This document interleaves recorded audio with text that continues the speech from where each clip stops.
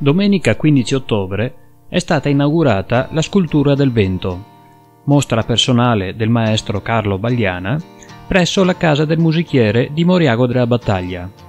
Oggi è un gran giorno per eh, Moriago della Battaglia e come hai detto per la cultura. Eh, oggi in questa splendida location eh, del Musichiere eh, inauguriamo il Festival della Cultura 2017-2018 e abbiamo l'onore di ospitare un grande maestro della scultura Carlo Bagliana e, e il critico Sgarbi.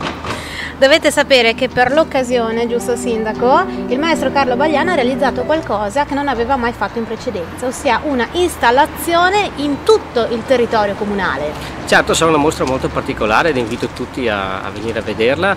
Ci sono ben otto statue collocate lungo via Roma e via Manzoni. Una ce l'abbiamo qui alle nostre spalle, che è la donna immigrante, eh, installata questa nel 1990. Quindi la mostra avrà un suo percorso lungo via Roma, in più eh, all'interno della casa del musichiere.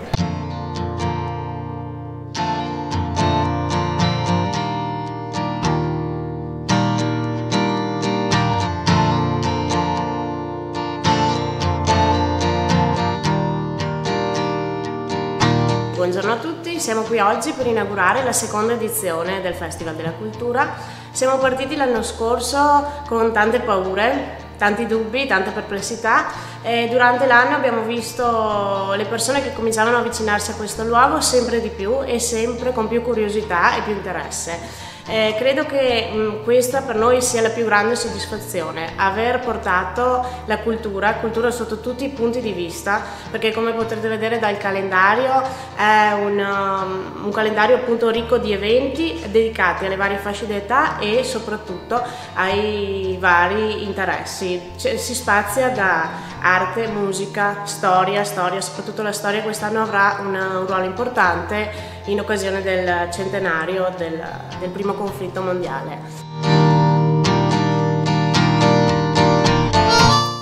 E vorrei ringraziare innanzitutto il sindaco Giuseppe Tonello perché mi ha dato questa possibilità di esporre in questo stupendo recupero del musichiere perché io quando avevo 15 anni, 17 anni venivo qui che c'era l'osteria l'osteria del musichiere e venivo qui con Carlo Conte che era un vostro compaesano, un vostro cittadino e faceva lo scultore io ho imparato da lui all'età di 12-13 anni come poter modellare e fare il volto di un bambino o un nudo di donna.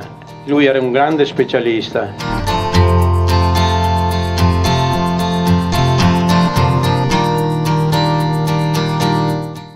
quest'anno eh, partiremo con vari corsi pratici, uno di questi sarà il, il, corso di Fingerfood tenuto dallo chef Alessandro Bianchin e appunto eh, durante il periodo della mostra che riguarda il centenario saranno fatte quattro serate, verrà chiamato l'appuntamento del giovedì, all'interno di queste serate eh, si... Ehm, si assaggeranno delle ricette, dei menù appunto tratti da ricettari del primo conflitto mondiale. Quindi avremo modo di vivere la storia in un modo un po' diverso, abbinando il, il cibo, una serata eh, conviviale insieme a aneddoti e, e racconti sul conflitto mondiale.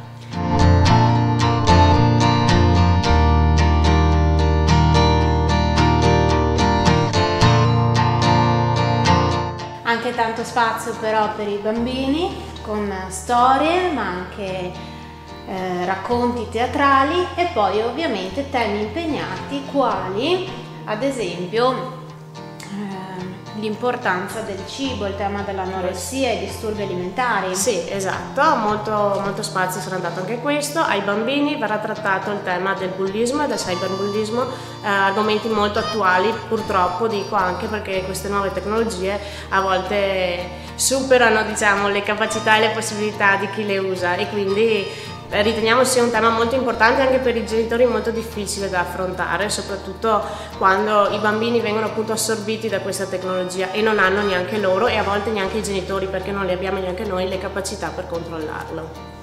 Quindi è un festival davvero per tutti, gratuito sì. e non vi rimane altro che seguire tutti i vari appuntamenti che troverete anche sul sito del comune. Sul sito del comune, sul sito di Moriago Racconta, appunto questo sito è stato creato dove ci sono varie informazioni sul territorio comunale e su tutti gli eventi. Ricordiamo che quest'anno la Casa del Musichiere rimarrà sempre il fulcro, però gli eventi spazieranno in tutto il territorio comunale. Ringraziamo allora l'assessora alla cultura Paola Pillone e vi aspettiamo a Moriago della Battaglia. Grazie a tutti e buona giornata.